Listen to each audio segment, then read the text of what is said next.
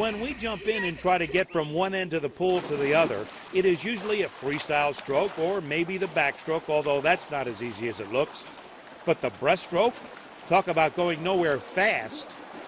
And so to go fast in something that's slow is kind of hard. So again, I ask, why a breaststroke? Was it strictly for competition or was there a purpose to it? Uh, probably just so all of us people that have weirdly shaped feet can oh, swim and be okay with it. So Tulsan Erica McGovern is glad the stroke was invented. She's heading to Arkansas on a swimming scholarship. Sounds like a good person to learn from, to me. I, Y, scoop and shoot. I, Y, scoop and shoot.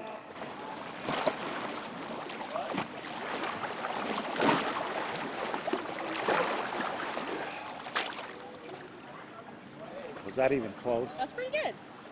The concentration and discipline to do the breaststroke is very intense. And that's what I admire about gals like Erica. And she knows what it takes to be an Olympian. You get up and scream, you gotta do it this way, you gotta do it that way, what are you doing? Come on! Um, Do You get excited? I get excited, but um, I don't usually yell at the TV.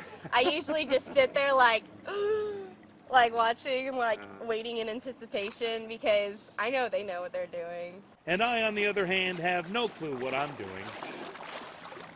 She won. Erica, thank you. Thank you.